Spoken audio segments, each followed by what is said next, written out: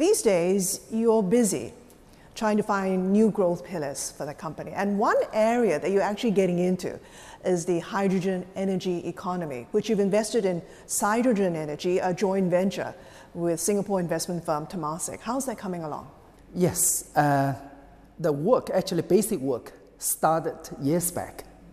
That's just continuous research and development on coatings. Then, three, four years back, I realized that the actual bottlenecks for successful commercialization were on two parts. One is the electrodes. The electrodes, if you want to increase efficiency, power density, then you need to change to metal electrodes. But metal electrodes are prone to corrosion unless you coat it by gold. So these are the limitations you found? That's right. It's expensive and it's difficult. So we have a coating to solve that problem. You solved it already? We solved it already. We provide the best coating in the world to provide protection on corrosion, at the same time maintain the conductivity.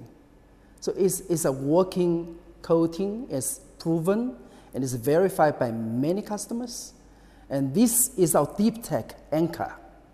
And from that deep anchor, and we discussed with Temasek, and, and that probably we can go one more step further.